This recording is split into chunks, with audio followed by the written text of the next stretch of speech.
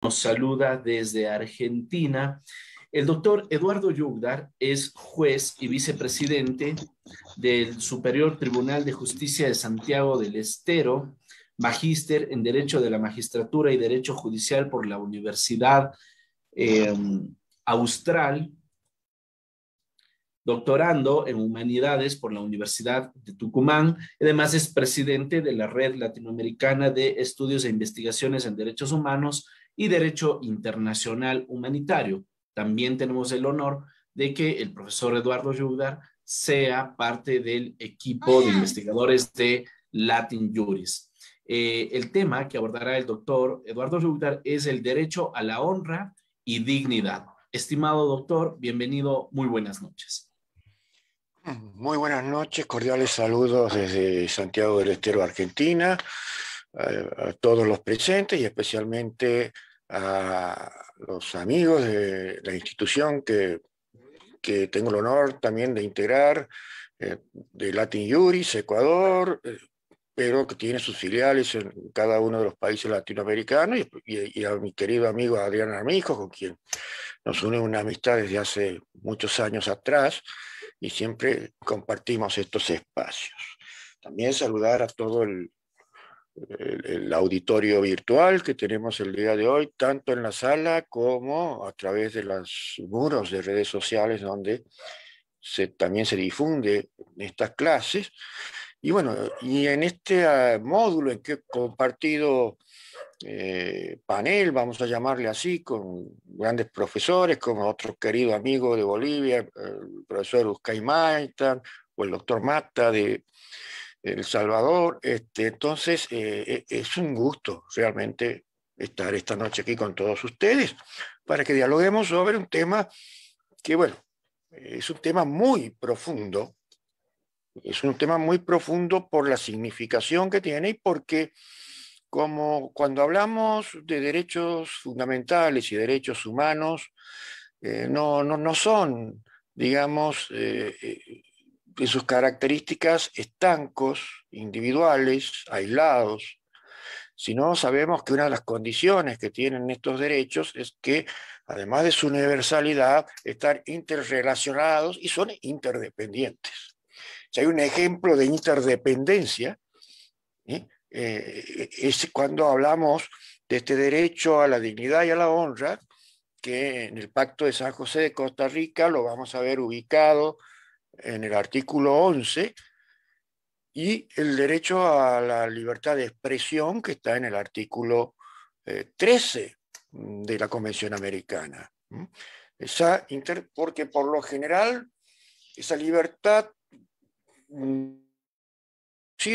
que no admite censuras entra en colisión con este artículo 11 cuando en esa expresión la persona a la que se alude en esas expresiones, que puede ser a través de eh, medios, hoy con los medios informáticos, de las mismas redes sociales, no necesariamente tiene que ser a través de los medios de prensa, pero obviamente eh, los casos más emblemáticos están dados cuando hay una supuesta agresión de esa honra y dignidad generada a través de lo que se llama, digamos, la difusión de información, que es un derecho esencial también en lo que se llama una sociedad democrática. Por eso aquí es donde se ve más esa interrelación de tensión y en donde pujan en cuanto a como bienes jurídicos a proteger dentro de esas eh, notas, eh, ver cuál es el que tiene, digamos, mayor peso específico y en donde las hermenéuticas ponderativas es la que se imponen para determinar en los casos concretos sobre de qué modo se puede restringir alguno de estos derechos. Aquí sabemos bien que eh, cuando hablamos de dignidad es la base de toda la construcción de los derechos humanos. Cuando se promulga ese, ese emblema de igualdad y no discriminación con el que comienza desde el artículo 1 la mayoría de los tratados internacionales y regionales de protección de derechos humanos, implica que no admiten ningún tipo de distinción ni de raza, ni de eh, religión, ni de edad, ni de otros tipos de condiciones ideológicos o políticas o nacionalidades. Y eso habla de esa igualdad y no discriminación. Obviamente que ahí tendremos que hablar también de lo que es una igualdad material y una igualdad formal, pero creo que en este ámbito en que hay, eh, hay digamos, muchos abogados, creo que eso ya se conoce eh, y nos saldríamos mucho del tema y nos excederíamos de tiempo también. Pero esto, ¿por qué es importante? Es importante porque la dignidad humana, como decía, ha sido resaltada desde el primer caso contencioso que ha resuelto la Corte Interamericana, que es el Velázquez Rodríguez, donde dice que el Estado no puede, en cumplimiento de sus funciones y en cumplimiento de las restricciones permitidas a los derechos fundamentales y derechos humanos, que son derechos absolutos bajo ningún punto de vista, tener tal grado de restricción que dejen de ser restricciones y se conviertan en un aniquilamiento, un cercenamiento de ese derecho. Y, y eso lo dice en cuanto a, porque no puede afectar la dignidad de las personas que los estados se comprometen a respetar bajo su jurisdicción. Dignidad humana que viene de un concepto filosófico especialmente formulado por Immanuel Kant, con un imperativo categórico, cuando analizaba en uno de sus ensayos eh, sobre la metafísica de las costumbres, los elementos de la metafísica de la costumbre, y mm, llegó a establecer que en el mundo de las cosas todas las cosas materiales tienen un precio o tienen un valor, y al tener un precio y tener un valor pueden ser fungibles, pueden ser cambiadas, reemplazadas, pero los seres humanos no tienen precio ni valor, porque tienen dignidad. Y esa dignidad es una dignidad individual que hacía a la esencia de su propio naturaleza inherente y de la relación que tiene con el, contexto social donde se desarrolla. Kant establecía en Metafísica de los Costumbres el análisis y la relación que había entre esa dignidad, entre los seres humanos y, la, y las costumbres y las eh, leyes que regían sus comunidades.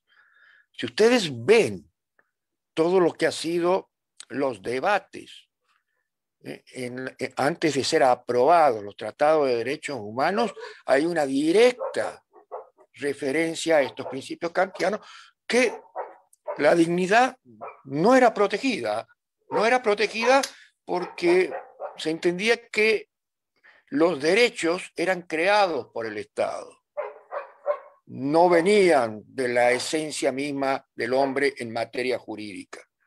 Por eso se distinguía antes de la Segunda Guerra Mundial se hablaba básicamente de, los derechos que nos otorgaba el Estado y que nos creaba el Estado, porque si no había un mandato legal que, lo estableciera, no había derechos, eran los derechos subjetivos, dado a cada uno de los sujetos que el sujeto podía exigir del Estado.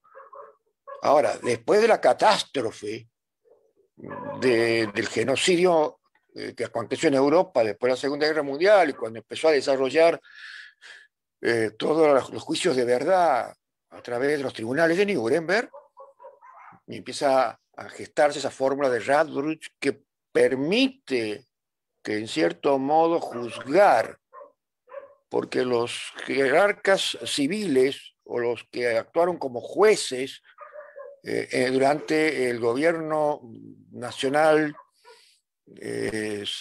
o, nazi en esa Alemania, decían, ¿por qué estamos sentados en un banquillo de acusados si nosotros cumplíamos con la esencia del principio de la legalidad, que era aplicar el derecho vigente? El problema es que ese derecho vigente autorizaba las cámaras de gas, autorizaba el exterminio de determinados eh, grupos étnicos, como los judíos, los gitanos, o por esa ley de purificación racial también había que eliminar a aquellos que tenían eh, algunas disfunciones que hoy conocemos como personas con discapacidad. Y eso era legal porque estaba en los mismos textos. Y los juicios de Nuremberg aplican esa fórmula de Radrus, que hay un derecho extremadamente injusto, no puede ser considerado derecho porque afecta a la humanidad. Y por lo tanto, los jueces, así estén en ese lado, deben abstenerse de aplicarlos. Y esa dignidad es la que permite todas las garantías contenidas en las constituciones políticas, por ejemplo, en la parte dogmática de las constituciones políticas, y también de los países, y también en los derechos garantidos por los tratados internacionales de derechos humanos. Y entre esos está esa dignidad que refiere el artículo 11, que comprende todo ese abanico, pero en lo específico habla de la honra y la reputación. ¿Y qué nos quiere decir? Que hay un derecho a la protección de la honra y la reputación.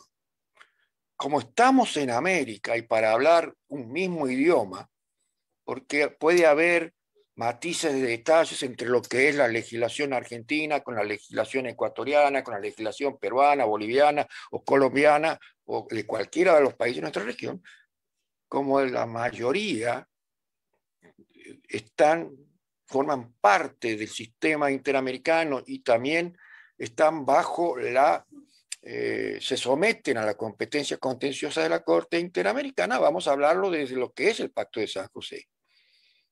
Si bien también están contemplados en el Pacto, eh, pacto de los Derechos eh, Civiles y Políticos de Naciones Unidas y en otros sistemas regionales como el sistema europeo de derechos humanos o el sistema africano de los pueblos.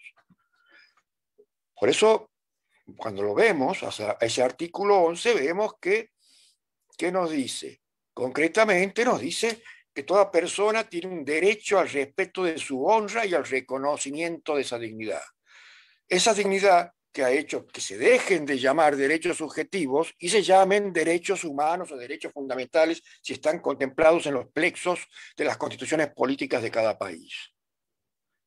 ¿Eh? Porque el Estado ya no crea derechos hacia sus ciudadanos, sino que reconoce esos derechos que esas personas que están bajo su jurisdicción lo tienen por la propia naturaleza de ser seres humanos. Así por eso, aunque no estén legislados en, el en los sistemas jurídicos, si pertenece a un sistema de protección, igual va a tener operatividad, que se respete esas normas que ese Estado se ha comprometido a respetar para formar parte de esa comunidad internacional de protección de derechos humanos. Y en el inciso 2, el artículo 11, dice claramente, ya estableciendo, digamos, lineamientos cerrando un poco la apertura de estos conceptos cuando dice nadie puede ser objeto de injerencias arbitrarias o abusivas en su vida privada, en la de su familia, en su domicilio, en su correspondencia, ni ataques ilegales a su honra o reputación.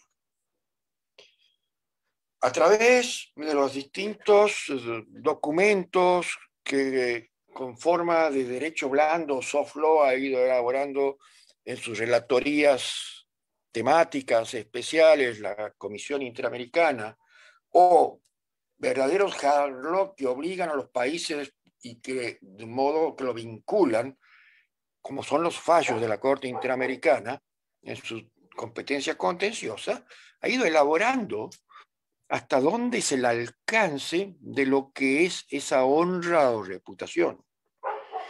Y vamos a ver después algunos casos concretos, pero vamos adelantando que cuando hablamos de honra hablamos de esa imagen que nos tenemos nosotros de percibirnos a nosotros mismos ante la sociedad.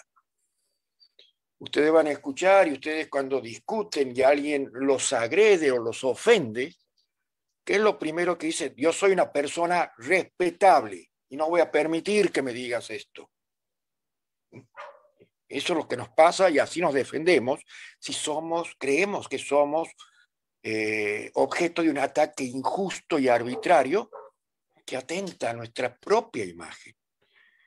Pero también, también está el concepto de reputación, que ya no es la visión de, de la imagen desde nuestra propia percepción, sino es la imagen que de nosotros tienen desde afuera, los terceros, la comunidad, el contexto social en donde vivimos. Entonces vemos la honra como ese honor de que nos sentimos que somos personas honorables, ¿eh? desde nuestra propia percepción y la reputación, que es lo que piensan o la construcción que hemos realizado nosotros y la, eh, el concepto que tienen las personas, instituciones, ¿eh? que están en el ámbito contextual en donde nos desarrollamos. Entonces, ahí es una primera distinción que surge de estos estándares del sistema interamericano y también del sistema internacional, porque vamos a ver que en ese diálogo de fuentes que realizan estos temas la Corte Interamericana toma mucho también de lo que ha determinado la Corte eh, Europea, pero a su vez también toma fuentes de tribunales eh, que han ganado cierto prestigio internacionalmente perteneciente a países. Y si vamos a hablar de esta tensión entre libertad de expresión y reputación, que es una de las facetas en donde se va a manifestar esta protección de la honra y la dignidad, eh, vamos a tener también que ver aquellas famosas teorías que se elaboraron en aquella corte ¿eh? que era conocida como la Corte Warren, porque el nombre del presidente, esa Corte liberal de los Estados Unidos, en donde entre la década mm, de fines de los 40 y, y, los 60, y mediados de los 60, casi 70, desarrolló todas esas eh, sentencias que tanto aporte hicieron contra la discriminación racial, contra eh, el reconocimiento de derechos, que fue en un caso en donde se analizó esa primera enmienda, en donde se reconoce lo, lo caro que es para una sociedad democrática que haya libertad de expresión, porque acuérdense que no hay respeto a los derechos humanos si no hay democracia, pero no cualquier democracia. Y ustedes van a ver que muchos de los articulados que tienen los pactos internacionales y especialmente nuestro pacto de San José de Costa Rica, hablan como forma de comparación de cómo debería ser la actuación y habla en una sociedad democrática.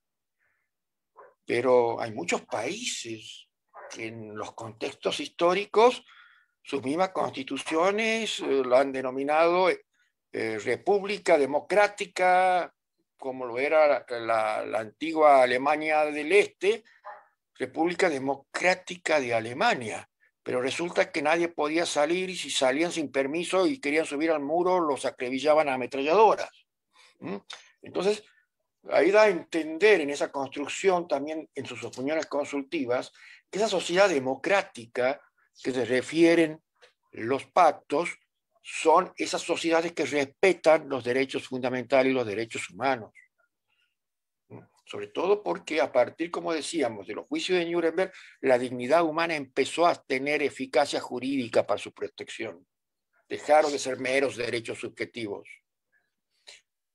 Y aquí un poco se da este, esto que decíamos al principio, porque eh, por lo general puede que en ámbitos privados eh, pueda darse, digamos, una afectación, quizás a veces discutiendo con amigos o los amigos nos ofenden o en nuestro ámbito familiar, pero no sale de ese ámbito quizás intimidad, a diferencia de cuando ya esto se hace, tiene mayor trascendencia pública y es en donde, eh, bueno, ya no solamente juega esa autoestima que hablábamos como honra, sino también esa reputación sobre que los terceros puedan vernos porque alguien nos está acusando de cometer acciones que son repelidas ante la ética social y a veces acciones que están reprochadas por los textos legales penales.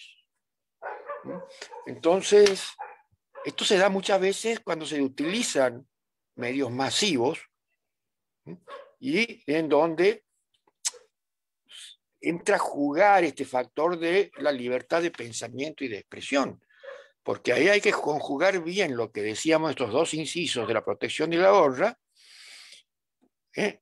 y sobre todo en el 11, cuando en el inciso 3 dice que toda persona de, esos dos incisos anteriores que hablábamos, del respeto a su honra y reconocimiento de la, de la dignidad, ya que no tenga que tener injerencias abusivas o arbitrarias o ataques ilegales a su y reputación, el inciso 3 nos dice tiene derecho a protección de la ley contra esas injerencias o esos ataques. A su vez, el artículo 13 dice que toda persona tiene derecho a pensar y expresarse libremente y que comprende esa libertad de buscar, recibir, eh, difundir informaciones, ideas, y que tiene un doble, eh, un, doble discernimiento, ¿no? No solamente informar, sino también el derecho a que seamos informados, porque estamos en una sociedad democrática de la que hablábamos, y donde la transparencia de los actos públicos es la clave esencial para que un Estado sea considerado democrático, además de respetar los derechos fundamentales y derechos humanos, en lo que es la concepción de, los sistemas de protección internacional de derechos humanos. Entonces, por eso muchas veces no se puede censurar, aunque se esté diciendo cosas que pueda afectar esa autoestima de la honra, o esa reputación sobre cómo nos miran y nos consideran los terceros. ¿eh? Por eso dice claramente que no se admite ningún tipo de censura. Pero como tiene que haber una armonización, y si bien podemos hablar a veces que en los casos concretos puede haber esa ese choque que bien lo desarrolla el maestro Robert Alexis, la teoría de los derechos fundamentales, ¿eh? en donde dos principios de jerarquía superior pujan por prevalecer en un contexto concreto y donde se debe hacer ese ejercicio ponderativo, vamos a ver que a pesar de ello, como dice el artículo 3 el inciso 3, perdón, del artículo 11, que toda persona tiene derecho a protección de la ley contra esas injerencias, los eh, estados, cuando aprobaron el Pacto de San José, también hablan de que eh, eh, no se puede restringir censurando, pero sí habla de responsabilidades ulteriores, cuando como no se puede ponerle un bozal al que habla, ese que habla excede la razonabilidad del ejercicio del derecho o la proporcionalidad de ese ejercicio de derecho. ¿Por qué? Porque puede ser, estar expuesto a sanciones que fijen las leyes para asegurar ese respeto a los derechos de la reputación de los demás o la protección de la seguridad nacional o el orden público, la salud o las morales públicas. Y eso también lo dice, si ustedes van a ver y tienen ahí a mano una, un pacto vayan al artículo 32.2 de la Convención Americana y dice en forma global que todos los derechos y garantías establecidas en la Convención solamente están limitados por otros derechos igualmente protegidos, por la seguridad y la moral de todos y las justas exigencias de bien común de una sociedad democrática. Entonces ven el valor que tiene el concepto de sociedad democrática, que muchas veces se lo deja como adorno, pero es lo que fundamenta y llena de contenido a todas estas pautas. Y por una cuestión de tiempo voy a hablar de dos casos que justamente han sido con eh, Argentina, en donde se han desarrollado esos límites de tensión en el sistema interamericano entre lo que es ese derecho a la honra y la reputación y a la no injerencia en la vida interna y lo que es la tensión que se da con la libertad de pensamiento y expresión, sobre todo en estados democráticos. Me voy a referir al caso Kimmel, fallado en el 2011, Kimmel contra Argentina. Kimmel era un periodista que después que vuelve la democracia a la Argentina, después de la dictadura militar, escribe sobre un juez de uno federal, pero que de una jurisdicción de, de los alrededores de Buenos Aires, a los cuales se había denunciado la desaparición de unos monjes de un convento por parte, bueno, de, todo lo que fue esos delitos de esa humanidad que cometió el Estado argentino mediante ese gobierno de facto militar, cívico-militar, y que ese juez, en esa época, así como se decían los jueces nazis, ¿se acuerda que decían, pues, nosotros cumplimos con él, no dio curso a los habeas corpus, no investigó esas desapariciones y escribió un libro nombrando al juez que con la vuelta a la democracia seguía ejerciendo la función. Obviamente ese juez se sintió agraviado y lo primero que acudió a decir, aquí no solamente me he injuriado, porque no ha dicho cuestiones que afectan mi honor, pero que no son delitos, sino está diciendo que he cometido prevaricatos, que he sido cómplice de esas desapariciones al no investigar en el momento oportuno, y lo denunció conforme el código penal existente, porque tenía un argentino que tenía un capítulo que se llamaba el derecho a la honra y a la reputación, o delitos contra el honor, más precisamente. Pero ¿qué pasa? Hasta esa época ese código penal argentino tenía normas muy abiertas. Y ustedes saben que por ese artículo nullum crimen, nullum pena sine lege stricta, cuando son tipos penales, tienen que ser estrictamente bien tipificados. Kimmel fue juzgado y condenado penalmente por haber, digamos, afectado la honra de ese juez, funcionario público, agotó la vía del país y tuvo que ir a la, a vía internacional, o sea, al sistema interamericano, donde la Corte Interamericana le dio la razón que se había afectado, digamos, si se lo había censurado con los, esos juzgamientos porque ese tipo abierto de ley penal argentina para proteger la honra o, la, eh, y la reputación, digamos, generaba de por sí censura.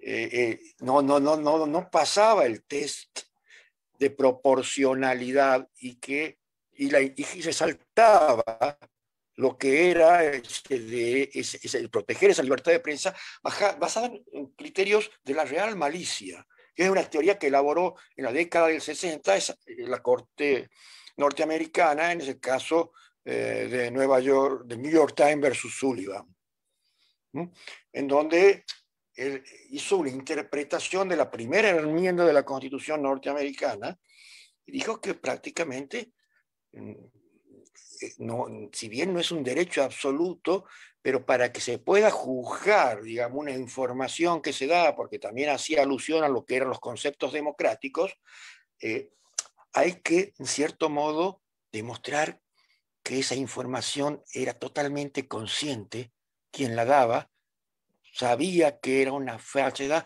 o lo que hoy podríamos llamar, que ha tomado mucha nota en los últimos años, sobre todo con estos entornos tecnológicos, que se llama la fake news. Las noticias falsas, pero no noticias falsas que se puede cometer por un, accionar negligente de no verificar fuentes concretamente, sino por eh, eh, profesamente querer dañar a alguien en su honor y su reputación. En todo esto, también juega esa, esa, esa, esa doble naturaleza que tiene la libertad de expresión que ha sido establecido en los fallos de la Corte Interamericana, que es una naturaleza subjetiva, en donde para ver si se, dan esos casos de excepcionalidad, que puede haber exceso en el ejercicio de esa libertad de pensamiento o expresión, eh, y hay otra objetiva. La otra objetiva es la que justamente habla del entorno y de la importancia que tiene medios libres que proporcionen información a toda la sociedad dentro de lo que es una sociedad democrática. Ahora bien, también habla de ese concepto subjetivo y objetivo en cuanto a que hay que distinguir la calidad de los sujetos. No todos los sujetos tenemos una misma protección de la que habla el artículo 11, por ejemplo, de la, de la Convención Americana, y que, y que ustedes van a encontrar artículos de similar corte en sus constituciones políticas. ¿Por qué? Porque no es lo mismo que se interfiera y se agreda arbitrariamente el honor y la reputación de un ciudadano común, que se trate de un funcionario público de cualquier jerarquía en cualquiera de los tres las tres estructuras republicanas de poderes que tienen los estados democráticos. Porque quienes están en cuanto a cumpliendo funciones públicas, manejando intereses públicos de toda la comunidad, sean jueces, sean presidentes, sean ministros, sean funcionarios, sean legisladores, están expuestos mayormente y su, digamos, derecho a defender su honor y su reputación está más debilitado. ¿Por qué? ¿Por? Porque la sociedad democrática es válida la crítica de la, de la gestión de las funciones públicas. ¿eh? Porque para poder después, digamos, realizarse las campañas políticas y electorales para elegir las autoridades auténticas, legitimadas, de origen y de ejercicio, es necesario que se puedan discutir las ideas que interesan al contexto social. Por eso, muchas veces es muy escotado lo que son, es la intimidad de aquel que está públicamente expuesto por cumplir una función pública. Y eso lo dicen en estos fallos, en este fallo Kimmel lo decía, sobre ese juez que se había sentido herido y había denunciado penalmente a este periodista que había escrito ese libro donde se lo acusaba de no accionar en cuanto a la desaparición de personas durante la dictadura militar. Ahora bien, no es tan pacífica la jurisprudencia en la Corte Interamericana porque unos años después, ese fallo Kimmel, para quien no lo sabe, condenó a la Argentina y se refirió no porque esté, digamos, eh, eh, sancionada excesos de la libertad de expresión en, materia penal, sino claramente lo dice la Corte Interamericana, es por la terminología empleada en los artículos 109 y 110 en el capítulo de delitos contra el honor, que eran muy abiertos, que violaba ese, esa legalidad que dice de nullum crimen, nullum pena, sine lege stricta. ¿Mm? Entonces allí consistió la violación y porque la Argentina fue condenada, pese a que eh, durante la sustanciación ante la Comisión Interamericana el Estado argentino se allanó En, en, muchos de los aspectos, incluso pagó una indemnización. Pero más adelante viene otro periodista de un pueblo de la provincia de Buenos Aires que critica de malversación en la administración de un club del pueblo, de la comisión directiva, que se llamaba Memoli, y que también es denunciado penalmente, pero ya cuando regía ese, ese cambio legislativo que la Argentina para cumplir con la sentencia Kimmel tuvo que realizar el Congreso, digamos, modificando esa textura lingüística inapropiada que para la Corte Interamericana generaba censura. Allí Memoli no tuvo la misma suerte que Kimmel, porque le dijo la mayoría de la Corte, fue un fallo dividido, Interamericana, mire, no es esto igual que, que, Kimmel, porque a Kimmel lo jugaron con un código que generaba censura en su, en su texto. En cambio, a usted lo jugaron con el código nuevo que el Estado argentino lo modificó a esos artículos justamente siguiendo el cumplimiento de, lo, de, las obligaciones eh, mm, que impuso la Corte Interamericana. Por lo tanto, usted fue bien juzgado. También, sí, condenó a la Argentina en algún aspecto porque el proceso fue largo, no, por, no como Kimmel porque consideraba que había habido censura, sino porque se cedieron los plazos razonables para, para esa condena. Eh, bueno, no sé qué otro aspecto, vamos a ver, no quiero excederme en el tiempo, pero como soy el último orador, voy a usar un poquito para no salirme de contexto. Entonces, vemos cómo juegan estas cuestiones, estas cuestiones vinculadas a lo que es la honra y la reputación. Ahora, sabemos que eh, es, importante porque las relatorías actuales de la Comisión Interamericana a veces no están en sintonía con estas doctrinas que ha establecido la Corte Interamericana, no solamente estos casos de Argentina, estos son los últimos, y lo bueno es que se podía ver la, la diferencia entre uno y otro, porque eh, eh, eran de facetas muy parecidas entre Kimmel y Memoli, pero ha habido casos eh, también que se han ido elaborando antes y después de estos, como en el caso de Ibex Rosten o en el caso de Ricardo Canese, eh, en los cuales fueron estableciendo estándares, estándares vinculados a la libertad a la libertad de expresión, pero a su vez estableciendo el alcance del artículo 11 de lo que implicaba esa eh, protección de la dignidad y de la honra del artículo 11.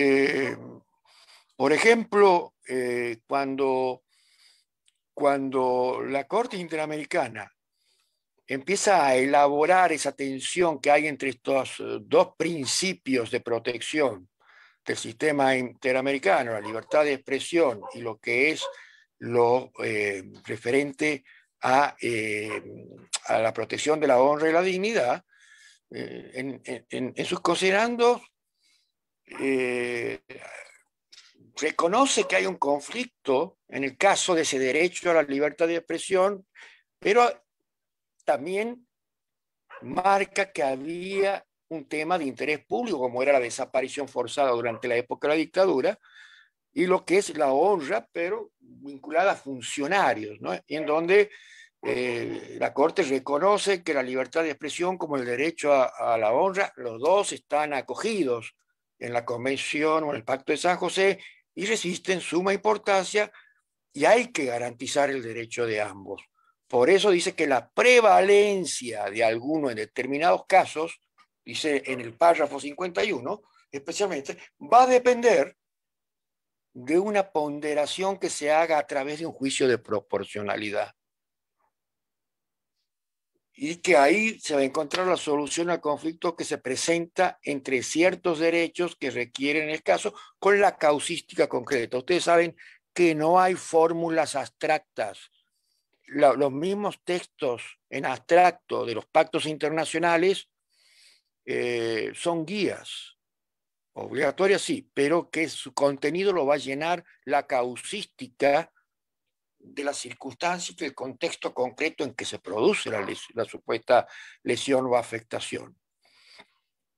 Entonces, en ese caso, Kimmel, ustedes van a ver que la Corte empieza a aplicar esa, esas pautas propias del juicio de proporcionalidad, tan caro cuando se juegan estos derechos, para ver cuáles de los derechos es el que más necesita protección y cuál es el que tiene que sin anularlo tiene que en cierto modo ceder ante la evidencia de la prueba de los hechos concretos. ¿Eh? Por eso muchas veces quizás las relatorías de la comisión han ido más allá.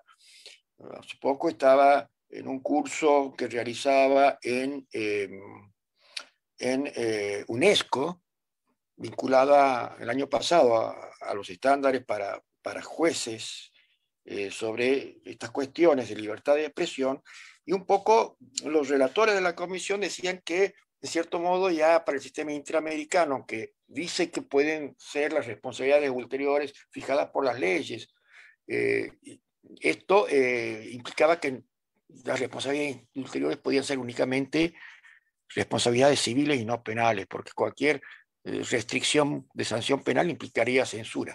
Pero no lo dice eso la Corte Interamericana. La Corte Interamericana en estos casos dice expresamente que el problema no es que la restricción sea penal, sino que la restricción sea desproporcionada, ser materia penal y civil, y que además no tiene que el contexto lingüístico del texto de la normativa eh, de por sí, antes, por su contextura abierta, implique ya una censura previa, porque eh, allí ya no interesa las responsabilidades interiores, van a ser viciadas. Entonces, resalta en ese sentido que ante eso, y cuando se trata de la protección y la honra de funcionarios públicos, hay, tiene también mayor fuerza la importancia que tiene la libertad de expresión en lo que es una sociedad democrática y la y una elevada responsabilidad que entraña para quienes ejercen la función de comunicación social. Por eso el Estado no solamente debe minimizar esas restricciones para, de afectar digamos, eh, lo que afecte la circulación de la información, porque ahí estaría entrando en censura, sino que tiene que buscar esos equilibrios mediante un test de idoneidad y adecuación, mediante un test de necesidad y mediante un test de proporcionalidad en sentido estricto para encontrar la razonabilidad, porque en definitiva de lo que se trata en esa tensión de estos derechos es cuando se exceden los marcos razonables. Y eso únicamente se va a determinar cuando se aborden los casos concretos. Voy a consultar al moderador cómo estamos de tiempo, eh, estimado. estamos eh, sobre el tiempo, estimado Eduardo, pero si, si gusta pedir concluir. Bueno, creo que con esto un poco hemos visto en líneas generales, pero lo, importante aquí no es que hable yo. Me gustaría que participemos dándole paso a los cursantes para, bueno, alguno que quiera plantear el tema, hacer una pregunta, con mucho gusto. En estos últimos minutos quedo a entera disposición. Veo varias manos levantadas por allí. Sí, profesor. Vamos eh, con Janet Salas, que levantó primero la mano. Le escuchamos, doctora. Eh, gracias, doctor. Siempre es un placer escuchar las intervenciones y ponencias del doctor Luzga. Realmente son sumamente clarificadoras en los temas. Doctor, yo quisiera que por favor me ayude eh, orientando en la siguiente o reflexionando sobre el siguiente supuesto. Se ha hablado, usted nos ha hablado sobre el tema del derecho al buen nombre y el derecho a la reputación. ¿Cómo queda el derecho al buen nombre y el derecho a la reputación que tienen los jueces en sus funciones, que son servidores públicos, que son servidores del Estado, cuando a través de las redes sociales se ataca sus actuaciones cuando no son favorecidas las sentencias a determinada persona. Y justamente también cuando se tiene un órgano administrativo y de control que precisamente anda eh, pidiendo que las denuncias, que si es que hay denuncias en contra de los jueces, se las hagan, ¿no? Eh, cuando obviamente ahora ya en Ecuador está reformada esta parte de la de las eh, de los errores que pueden cometer los jueces y que ya se los hace con eh, previa disposición o previa, previo pronunciamiento de un juez superior, que eso no lo teníamos hasta hace unos meses atrás. Ahora, cuando los temas privados de determinado, esa es la una idea. La otra idea, cuando un tema privado de cualquier ciudadano, él mismo se encarga de hacerlo público a través de las redes y obviamente esto genera una serie de eh, cuestionamientos o de juicios de valor de parte de la ciudadanía, ¿se está atentando o no se está atentando a este derecho al buen nombre y a la, al derecho que tenemos a la buena imagen a una, y a una buena reputación? Me gustaría escucharle sus ideas, doctor, a este respecto. Muchas gracias y felicitaciones por su ponencia. Muchas gracias. Eh, bueno, voy a ver si puedo satisfacer sus preguntas. Entiendo que usted me pregunta, ¿qué pasa si, por ejemplo, un juez saca una sentencia y alguna parte disconforme, un colectivo disconforme, le dice que todo, entre comillas, por las redes sociales. Le dice, este juez es un corrupto, este juez es, es patatín, patatán. Puede ser, pero hay que, con esa mirada, mire usted el caso Kimmel, eh, la persona que se sentía agraviada era un juez. Y el Estado argentino fue condenado. Hay que reconocer esa, ese, para, porque usted para ponderar, como dice Alexi y dicen otros, para hacer ese test de proporcionalidad, tiene que, en cierto modo, medir los valores y las interferencias entre esos, eh, esos principios que están en colisión eh, eh, en cuanto a, a, los sujetos, en cuanto a los contextos, en cuanto a todo lo que conforman los elementos fácticos del caso, más, más allá de las normativas. Y empieza a hacer, bueno, Alexi lo hace con una fórmula del peso, otros lo hacen con principios de armonización, etcétera, etcétera. La Corte Interamericana medio que sigue el método del Tribunal Constitucional alemán, medio que sigue el método alexiano, con su propia impronta, pero eh, hay que aceptar las críticas porque estamos cumpliendo funciones públicas. Ahora, obviamente que eso no es ilimitado. Cuando hay esos excesos, bueno, el juez tendrá también que justificar que pese a la importancia que tiene la libertad de expresión, eh, hay ciertos márgenes de tolerancia que están en los estándares mismos de, que ha fijado la Corte Interamericana como intérprete del Pacto de San José de Costa Rica, o que puede haberlos fijado, en el caso usted de Ecuador, ¿no es cierto?, el Tribunal Constitucional de Ecuador. Entonces, acuérdense que aquí la forma, decía un gran juez norteamericano del principio del siglo XX, la década del XX, Charles Evan Hughes, la constitución de Estados Unidos es lo que los jueces, estamos bajo constitución, por lo tanto la constitución de Estados Unidos es lo que los jueces dicen que es, porque, o la corte dice que es. Porque en definitiva la opinión mía o suya de lo que crea leer de, alguna ah, pauta del, contenida en la Constitución de Montecristi no, no, no va a tener el peso que si lo dice la mayoría del Tribunal Constitucional, en un caso concreto. Entonces, aquí, por una cuestión, como decía eh, Joseph Ras, el, derecho a una construcción autoritativa. Las razones muchas veces se imponen por criterios de autoridad que establecen las leyes, como que tampoco nos puede gustar una sentencia de la Corte Interamericana, pero ese será el estándar hasta que venga otra integración con otra visión y la cambie y esos criterios se modifiquen.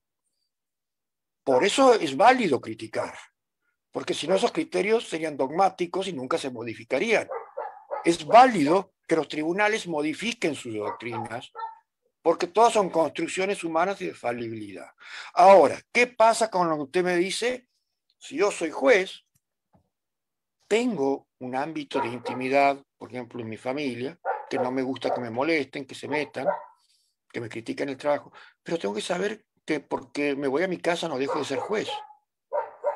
Como dice el, el Código de Ética Iberoamericano, para el juez iberoamericano, que lo ha aprobado la Cumbre Iberoamericana, donde uno de los autores ha sido mi maestro y mentor, el doctor Rodolfo Luis Vigo, junto con Manuel Atienza, ese otro gran jurista español, eh, establece que esas conductas, aunque son conductas privadas con incidencias públicas, por más que sean privadas, como la realiza alguien que tiene una función pública y un juez la tiene, entonces todo lo que haga, aunque no lo haga en, cuestiones vinculadas a lo que es la específica cumplimiento de las funciones públicas va a tener una repercusión social.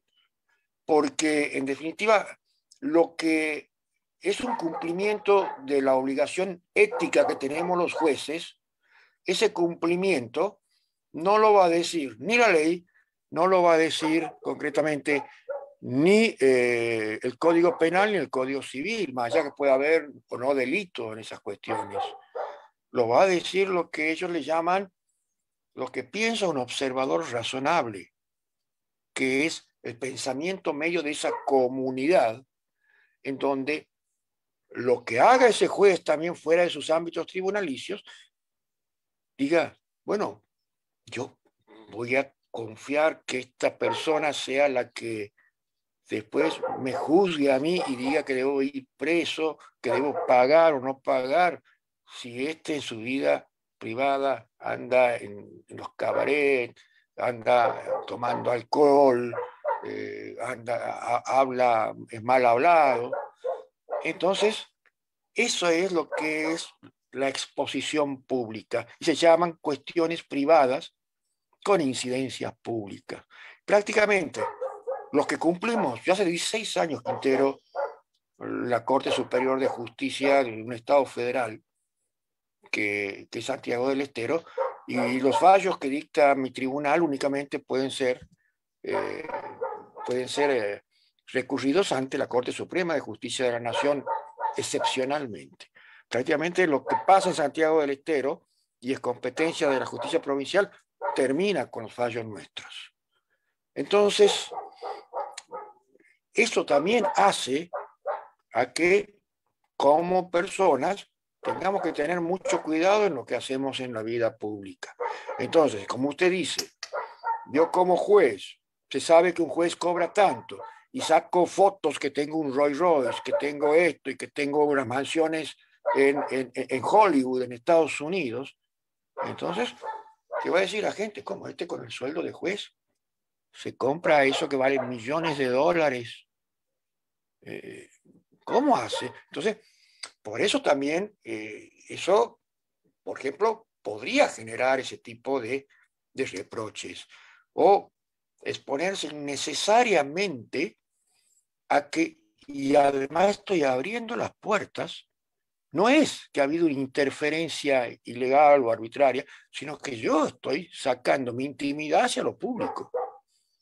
Es otra cuestión que hay que tener en cuenta para valorar. No sé si con esto respondo a su pregunta. Muy bien, doctor, muchísimas gracias. Eh, vamos con la pregunta de Jorge Játiva Pasos. Lo escuchamos, Jorge. Eh, buenas noches. Mi consulta es acerca de los delitos de injuria eh, y calumnia. Actualmente en el Ecuador se discute la, despenalización de la injuria que está como contravención y de la calumnia que está como delito de acción privada. Hay un proyecto de ley que elimina estos dos tipos penales. La protección de la honra y del buen nombre en los estándares del sistema interamericano demanda que se castigue como, como tipo penal, como delito la calumnia, o es dable esta despenalización que ha propuesto el gobierno? Y mi segunda pregunta es acerca del nivel de tolerancia que exige, que exige la Corte Interamericana en su jurisprudencia a los políticos, sobre todo respecto a las críticas de la sociedad civil ese mismo nivel de tolerancia es exigible también a los jueces, que, son también pues funcionarios públicos. Bien. Eh, con cada muy clara su pregunta y un poco lo que habíamos hablado durante, la clase, ¿no? Eh, en cierto modo, no está prohibido del todo, digamos, que esa parte del texto, de tanto que está en el artículo 11, eh, inciso 3, como en el inciso 2 también, o 3 del, del, 13, que habla de responsabilidades ulteriores. No hay censura, ojo, yo no te puedo censurar, pero si vos no te, excedes después y te excedes esa proporcionalidad que hablábamos, que hace la razonabilidad, puede ser que seas objeto de sanciones siempre que estén legisladas en las leyes. Ahora, en el caso argentino estaban legisladas, pero al principio estaban mal legisladas. Hay que estudiar bien hasta cuál era el alcance. Y la tendencia actual, porque también han variado las últimas integraciones de la Corte Interamericana, usted ve que han modificado también mucha de su jurisprudencia, porque lo que antes era mayoría pasó a ser minoría, como por ejemplo el caso de la judicialización de los eh, derechos económicos, sociales y culturales en el sistema interamericano en el artículo 26, que antes no se admitía la mayoría, y hoy la mayoría de la Corte empieza a establecer que sí puede ser como que la, la víctima pueda alegar la violación del artículo 26. Eso a partir de ese cambio de integración que vinieron, porque los jueces tenemos paradigmas. Paradigmas que ningún juez viene de un repollo. Todos los jueces, después que nacemos, nos, formamos en un ámbito familiar, vamos a un tipo de colegios que pueden tener alguna tendencia ideológica, vamos a universidades que pueden tener tendencias ideológicas, religiosas, etcétera, etcétera, y eso va conformando nuestras subjetividades. Entonces, por eso también se habla. En Estados Unidos es muy, es muy común hablar los jueces conservadores y los jueces liberales, que son formas de visiones que cuando se trata de jueces no se les llama ideológicos como los políticos, sino se les llama paradigmas.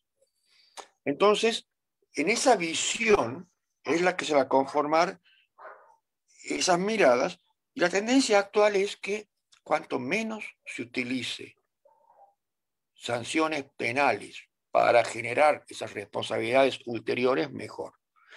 No las prohíbe, pero sí deben ser muy restringidas porque se trata de uno de los derechos más esenciales, más esenciales en lo que es la constitución de una sociedad democrática. Si no se puede criticar las acciones de los funcionarios públicos, no hay democracia. La democracia es un debate para que después la sociedad pueda optar. Pueda optar quién quiero que me gobierne en un periodo determinado. Así que hay una fuerte tendencia, sobre todo de la Comisión Interamericana, a que cuando se trata de cuestiones públicas y, de, cuestiones vinculadas a gestiones del manejo de la cosa pública, sea juez, sea legislador, no importa, son personas públicamente expuestas por la función que cumplen. Y por lo tanto, eh, digamos, se restringe al máximo lo que son las sanciones penales y bueno, y después, si se puede probar y justificar excesos en el ejercicio, en los casos que, que, eh, eh, establece la, la, misma convención y los estándares que ha generado la Corte Interamericana, mm, eh, porque ha habido que pueda generar responsabilidades ulteriores, aplicando esa teoría de la real malicia o de las responsabilidades ulteriores, porque, digamos, ha habido una negligencia total que no le ha importado el derecho de los demás, que dice el 32.2 de, eh, de la, del Pacto de San José. Entonces, ahí sí.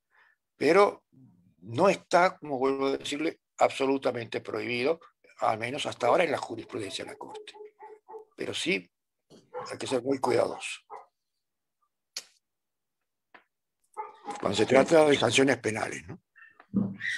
Bien, bien, muchísimas gracias, estimado Eduardo. Eh, voy a hacer, antes de, continuar, veo que tenemos un par de preguntas eh, adicionales. Permítanme, por favor, apreciados cursantes, compartirles precisamente a propósito de, del trabajo que viene desarrollando el doctor Eduardo Yugdar. Me gustaría compartirles una invitación para que pudieran ustedes acompañarnos el próximo 7 de junio en eh, la presentación de la obra de autoría del doctor Eduardo Juncker, que es La Mora en el proceso de restitución internacional de menores. Em, e, este evento académico va además a contar con la participación del doctor eh, Rodolfo Vigo, ¿sí? quien, quien ha realizado el prólogo de la obra, y también del profesor Andrés Briceño, quien escribe el prefacio. Eh, como lo decía, el evento se va a realizar el 7 de junio a las 6 de la tarde, hora argentina, ¿verdad, eh, doctor Eduardo? Claro que son eh, dos horas más que el Ecuador. Que serían a las... 4 del Ecuador, 4, pm. Perfecto, perfecto. Eso, y, y, bueno, estaremos también compartiendo en las redes sociales de Latin Juris el enlace para que pudieran unirse. Bien, eh, tenemos un par de preguntas más y, para ir cerrando, lo escuchamos, estimado José Villalobos y luego Diego Ramírez. Muchas gracias. Buenas noches, doctor. Eh, mi pregunta puntual va dirigida hacia los límites y el alcance de eh, la protección hacia la honra y la dignidad en el entorno, en el entorno del debate político, principalmente del de, eh, debate parlamentario. Como sabemos, el Parlamento, al ser el seno de, del debate nacional, del debate, debate de los asuntos públicos del, país, eh, da pie a muchas de estas situaciones que pueden eh, perjudicar o, vulnerar de alguna manera la honra y la dignidad de algunas personas. particularmente, quiero referirme eh, a un caso eh, del expresidente y el ex senador Álvaro Uribe Vélez aquí en Colombia, donde eh, precisamente uno de los, de los casos que él lleva o de, los procesos que él lleva en su contra es en ejercicio del debate parlamentario y hace dos años en relación a una intervención que hizo refiriéndose al, a su opositor o su más férreo opositor que es el senador Gustavo Petro, Petro perdón, como eh, como un sicario moral. Y él, decía en ese momento, hace dos años, que prefería un guerrillero en armas a un, a, un sicario moral. Y, con estos términos lo, lo, acentuaba, como sicario, sicario, sicario.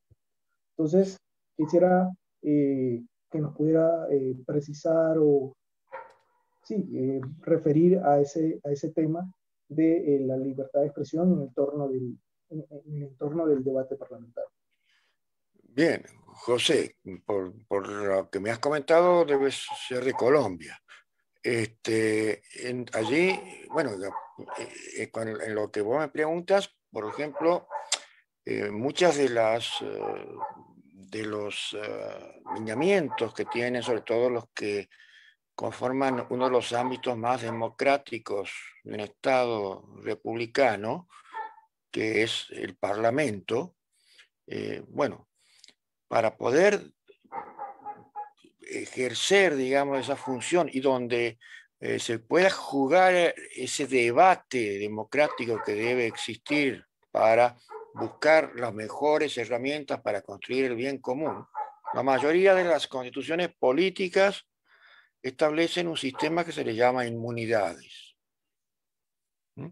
Hizo, aquí en Argentina, por ejemplo, la constitución actual y las anteriores también la tenían, eh, le otorgan a los altos funcionarios, algunos jueces, otros a los legisladores, inmunidades, sobre todo la inmunidad que se ponen a los que componen, digamos, el las asambleas parlamentarias, es la inmunidad de palabra.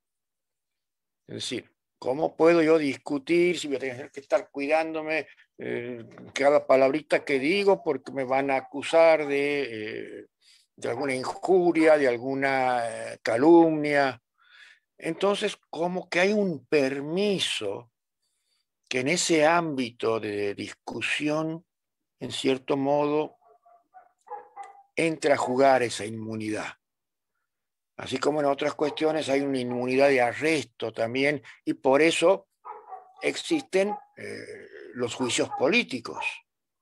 Es decir, si se quiere a alguna de estas autoridades por alguna cuestión detenerlas, como tienen esas inmunidades, hay que destituirlo para que pierdan esa, porque mientras eh, está en funciones, haya hecho lo que haya hecho, goza de esa inmunidad. Algunas constituciones han, acotado el alcance de esas inmunidades. Y dicen, no, bueno, pero si hay un delito fragante, si, si, en medio de la, de la, de la, discusión saca un arma y lo mata al que está discutiendo, al, opositor que está discutiendo en, en, el Congreso, digamos, en esos casos la inmunidad y arresto no regiría. Entonces, antes sí, antes había que esperar que se haga todo ese proceso destitutorio para quitarle esa calidad de, eh, de eh, legislador y al quitarle esa calidad perdía por ende las inmunidades que tiene. Por eso es más complicado todavía en esos ámbitos. Aquí en Argentina, hace poco, la que es presidente del partido opositor, que antes estaban en el gobierno, lo acusó a los ministros actuales diciendo que en Argentina se han comprado todas las vacunas habidas y por haber, de todas las marcas, de todos los países, menos la Pfizer, porque la Pfizer habría dicho que los ministros de salud habrían, este, y el presidente le habían pedido un retorno para que compre las vacunas. Hace pocos días, la misma empresa norteamericana sacó un desmentido. Pero los asesores, por ejemplo, del, del, de lo que son gobierno aquí hoy, están evaluando si va a haber una denuncia penal o si solamente van a hacer una denuncia civil de reparación por haberles dicho coimeros o que, estaban cometiendo eh, percibiendo, digamos, una situaciones en las cuales recibían actos de corrupción. Entonces, eso es un poco lo que, lo que juega, pero por lo general en los debates políticos, como también hay, por ejemplo, disposiciones en los códigos procesales que las cuestiones vertidas en juicio, aquí en Argentina, lo que se dicen las partes en el juicio por el fragor de la discusión, etcétera, etcétera, eh, no constituirán delitos que en otros ámbitos sí lo constituirían en este tipo de cuestiones de injurias y calumnias.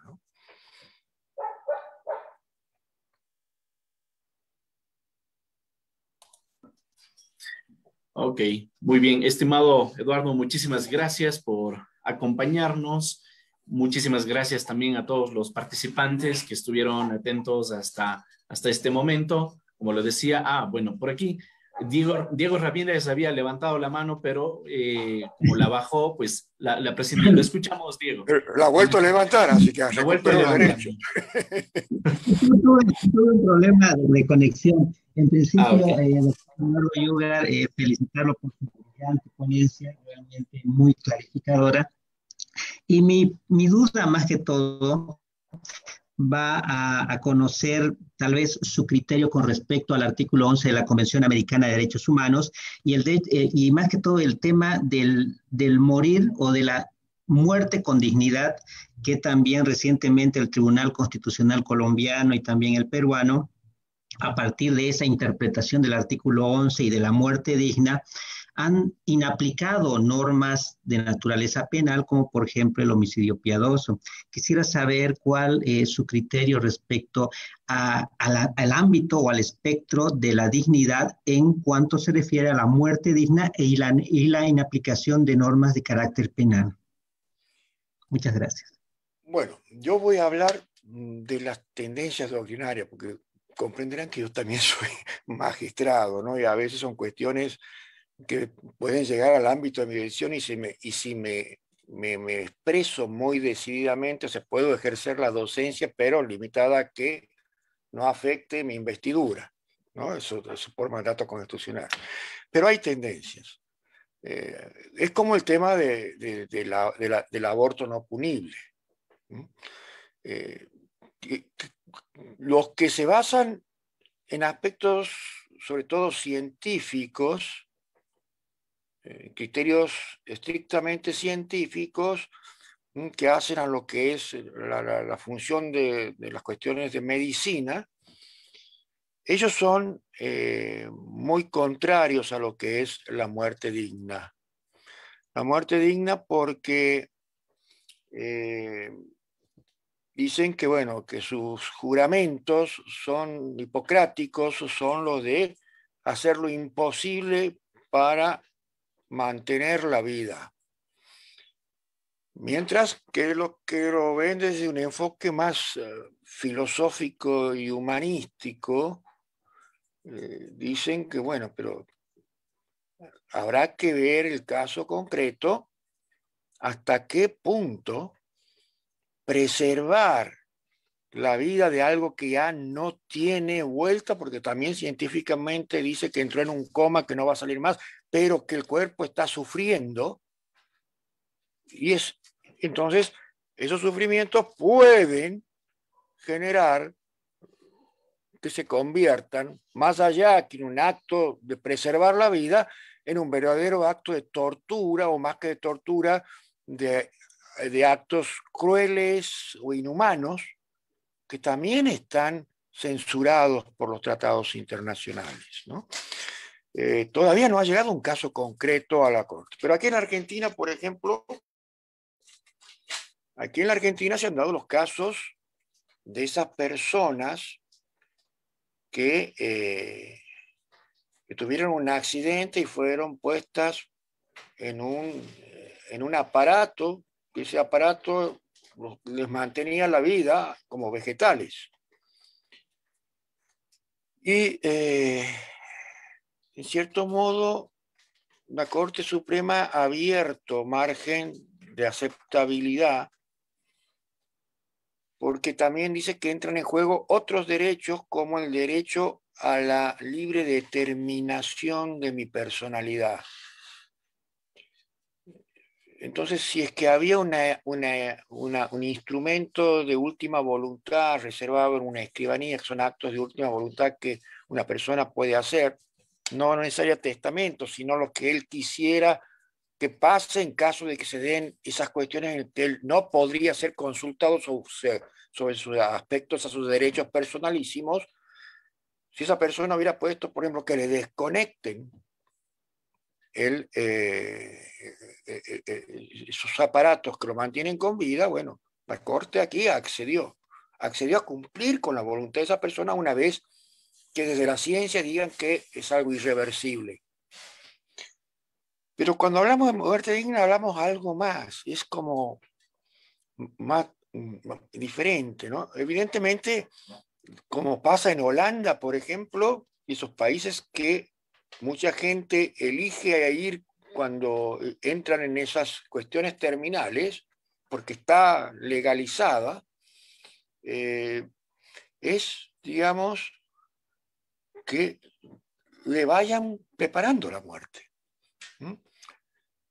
Quizás nuestras tradiciones todavía en Latinoamérica hace que un poco se mire con recelo, pero creo que esto también pasa por una cuestión de proporcionalidad y razonabilidad, ¿no? en la cual haya que establecer esa verdadera necesidad, idoneidad y adecuación para establecer si en determinados casos eh, forzar a una persona a seguir viviendo cuando ella ya ha dicho que en casos especiales no lo hagan y esperar hasta que dé el último aliento y para llegar ese último aliento, a pesar de que en muchos casos esté inconsciente, se escuchen ustedes, nosotros sabemos que personas inconscientes se quejan a pesar de su inconsciencia porque está sufriendo. Entonces, si no, entra ya en un círculo que se convierte en que legalicemos actos crueles e inhumanos basados en que estamos queriendo preservar la vida, ¿no? Esas son las cuestiones que tenemos que ponderar. Muy interesante, muy interesante y de hecho esa es la, discusión que, a la que queremos incentivar a los participantes que nos siguen a través de esta sesión de Zoom y también de las redes sociales. Muchísimas gracias una vez más, estimado Eduardo, por acompañarnos en esta conferencia, eh, profesor. Para nosotros ha sido un honor. Le cedo la palabra para que pudiera despedirse de, esta audiencia. Muy bien, el agradecido soy yo porque siempre digo, ¿no? Este, eh, eh, cuando tenemos que dar ponencias es hacer un, ejercicio dialéctico, en muchos casos, sobre todo cuando hay esos espacios en que pueden participar quienes cursan, porque también se aprende mucho se aprende mucho de eh, los que cursan, ¿no? Nosotros como seres humanos no somos ni, ni el juez Hércules de Roland Working, que se conocía todos los ordenamientos jurídicos, todos los principios morales, filosóficos y jurídicos, pues, pero era un semidios. Entonces, nuestra falibilidad humana hace que siempre estemos en un constante proceso cognoscitivo, y esto obviamente para mí es un gusto poder conversar con ustedes, dar, decirles lo que sé, pero también llevarme lo que ustedes me, eh, me dejan con dudas y hacen que me siente a investigar más en profundidad. ¿no?